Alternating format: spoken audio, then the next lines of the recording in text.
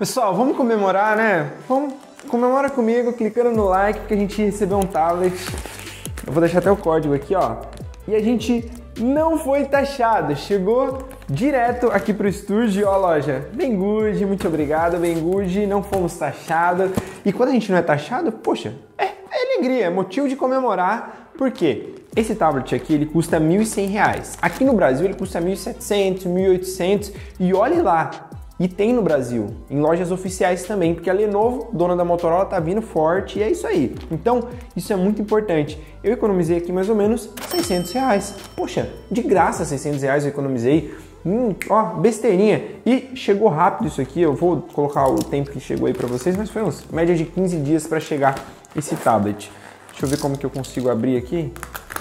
E cá, cá está. Pessoal, vocês não têm noção do tanto de tomada dessa que a gente tem aqui. É muita, depois eu vou mostrar para vocês. Mas ó, cá está, caixinha pequena. E esse tablet aqui, sensacional. Parece que agora voltou a era dos tablets. Mas antes de eu mostrar esse aqui, eu vou mostrar a versão que a gente já tem, que a gente grava um vídeo já. Esse aqui é um pouco mais caro, porque é um pouco maior e um pouco mais potente. Nossa, tanto pouco, né? Esse aqui eu estou usando há mais de mês e olha só, comprei essa, essa outra capinha que vem com o teclado. E basicamente, o meu tablet, ele é o meu notebook também, porque eu consigo controlar tudo aqui, ó. Eu consigo ter os controles de volume, de brilho, enfim, o teclado para mim digitar. E ele tem esse modo desktop. Por exemplo, aqui eu tenho o meu Telegram, eu tenho aqui o meu Google Chrome e eu uso como se fosse um Windows.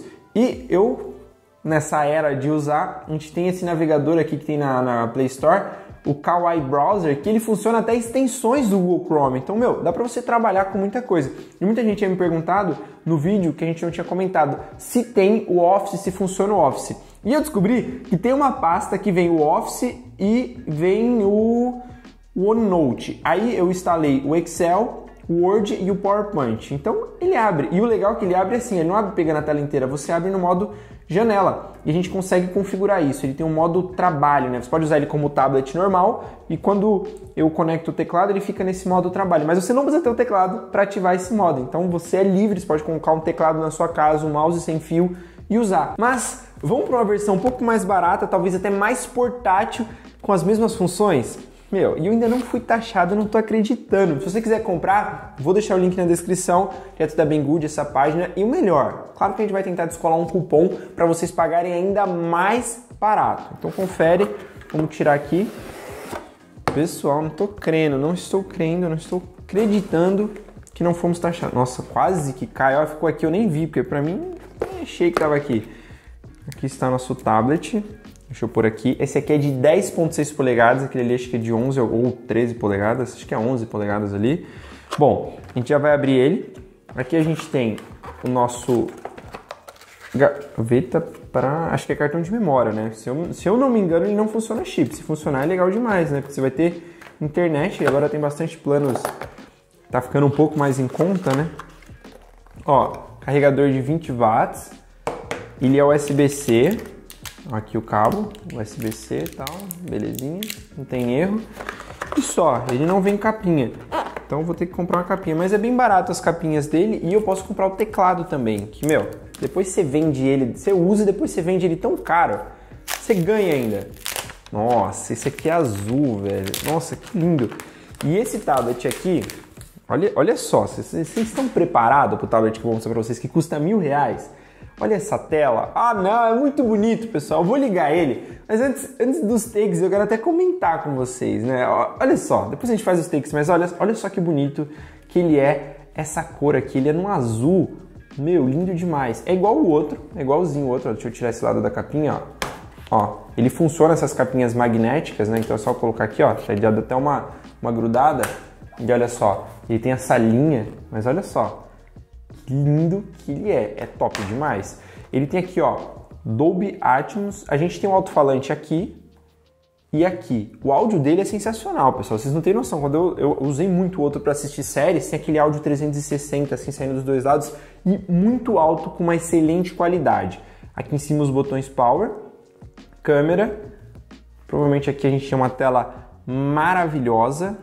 Olha só. Meu, olha essa tela aqui Esse não tem uma tela AMOLED, aquele modelo tem, mas meu, mesmo assim, olha essa tela ligando. Eu não queria falar nada não, mas olha só, top demais, esse vermelho bem forte, sensacional. Então agora vou configurar ele já volto a mostrar para vocês. Fiquem com os takes do Lenovo Tab 11.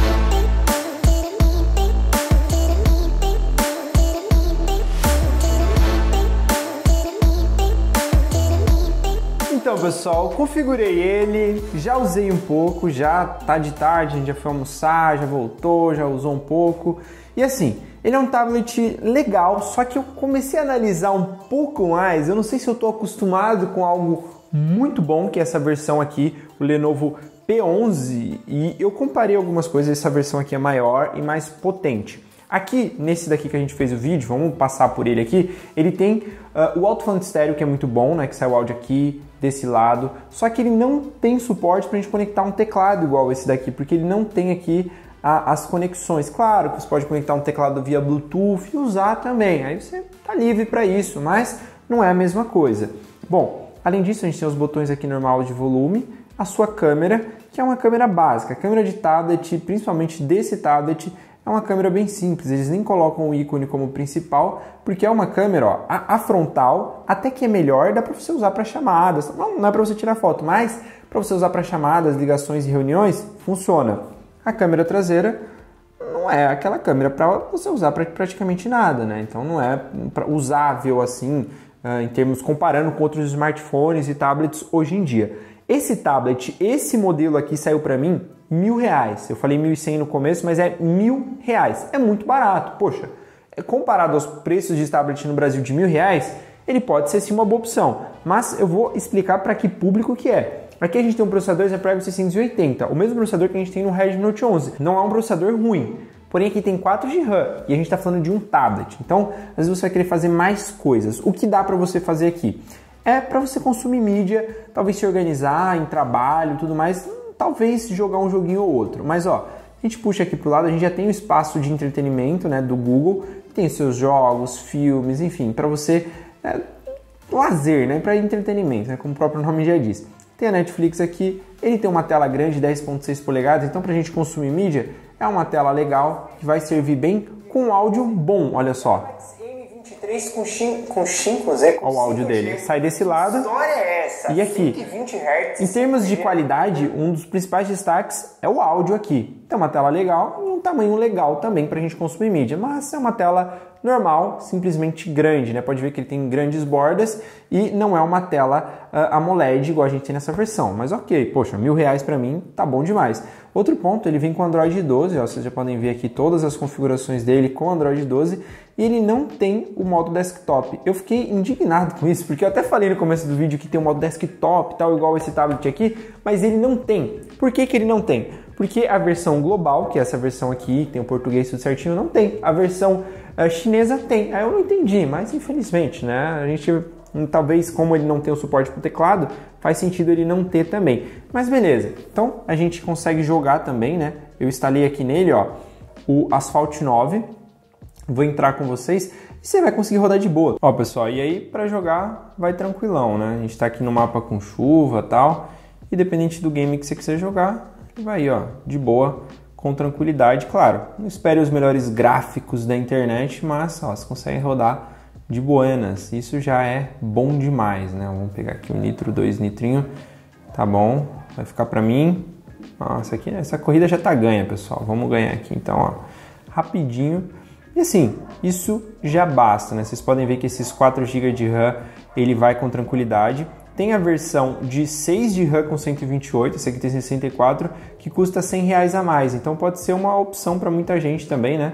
100 reais a mais você pegar uma versão aí com 128 GB de armazenamento. Ih, parceiro, o que aconteceu aí? Bateu, é? Vamos segurar, vamos segurar, vamos pegar ele. Olha lá, ó, ó, ó, ó, deu uma travadinha, hein? É, nessas horas não tem como. Olha lá. É isso. Então você vai conseguir jogar a maioria dos jogos, dependendo aí quando ele exigir muito, vai dar aquela quedinha de frame que vocês viram. Beleza, né? Poxa, mil reais. Então eu tô sendo sincero com vocês, vocês estão vendo a realidade de como funciona aqui, funciona aqui. Eu vou testar mais a fundo ele e trazer um review para vocês, mas poxa, de início, para consumir mídia, ele tem um áudio bacana, uma tela grande e se você conseguir nesse preço meu de mil reais, vai ser bom demais. Vou deixar o link na descrição. Pode ser que você seja taxado e pague um pouco mais do que isso, mas mesmo assim ainda é bem mais barato que comprar no Brasil. Agora que você quiser dar um up maior, pega essa versão aqui que é melhor. Esse aqui tem o Snapdragon 730, é mais potente, aí ele tem um leitor digital na tela, na lateral, né? E ele tem essa tela maravilhosa, que é uma tela 2K AMOLED. Meu, isso aqui é sensacional, isso aqui é maravilhoso. E o que, que eu falo para vocês das conexões? É isso aqui, ó. Eu puxei, olha só, é magnético. Esses três pontinhos, simplesmente eu coloco aqui, ó. Olha só a força que ele puxa. Eu coloco aqui em cima, encaixou. Eu puxo aqui atrás a capinha, ó e pronto, tenho um notebook, eu tenho o um mouse aqui automaticamente, ó, eu consigo trabalhar com ele, digitar, enfim. E aqui eu já tenho todo o pacote Office, ó, que funciona muito bem, como eu falei para vocês, o navegador com uh, as extensões. E a gente fez o vídeo dele, se vocês se interessarem por esse modelo. Esse modelo aqui saiu mais ou menos R$ 1.400. Eu não lembro se a gente foi taxado também, mas enfim, vou deixar tudo na descrição para vocês. Esse modelo aqui, olha a parte que a gente rodou CSGO aqui, meu. É, é, é simplesmente dá para substituir um notebook dependendo do que você faz. Se você não tem nenhum programa específico para Windows, você consegue trabalhar aqui. Porque esse navegador aqui que a gente consegue colocar extensões no Google Chrome, poxa, já serve muito bem. Então eu uso o WhatsApp Web, às vezes preciso de uma extensão para algum site, alguma coisa, eu consigo instalar perfeitamente. Então consigo trabalhar tranquilo. A gente colocou aqui também, ó, a gente usa muito o YouTube Studio, a gente colocou aqui embaixo, já salvou bastante coisa. Ó, deixa eu voltar para o Google Chrome. Ó, a gente tem aqui o nosso site Tuco Ofertas. Aqui eu estava fazendo aula de inglês, já deixei salvo aqui. Então, meu, isso aqui é top demais. Tem essa facilidade para trabalhar aqui, ó, nosso sistema do Tuque Ofertas. Ó, clico aqui para editar um produto, tudo mais. Consigo fazer todas essas alterações direto do meu tablet barra notebook com uma bateria gigantesca que dura aí um dia inteiro com muita, muitíssima tranquilidade. E eu não tenho necessidade de desligar. Sempre que eu fecho aqui, ó, a bateria dura mais de uma semana com ele fechado. Se eu não estou usando, eu pego, uso um pouquinho, a bateria fica aí, não desgasta em stand-by. Isso aqui é sensacional. E bom, vou deixar o link desse modelo aqui que é um pouquinho mais caro e desse outro modelo também na descrição, que foi o que a gente fez o unboxing aqui, pessoal. É legal também, dependendo do que você for fazer, vai servir mais esse modelo mais barato do que esse aqui mais caro. Você, Poxa, eu preciso para trabalhar, para assistir e tal, acho que vai servir bem, eu não vou usar teclado. Então vai desse modelo e já compra a capinha. Vou deixar o link na descrição, aquela capinha que você gruda aqui atrás, né? Você põe certinho e fecha. Meu, top demais. É isso. Deixa o like, se inscreve no canal e é isso aí, galera. Valeu!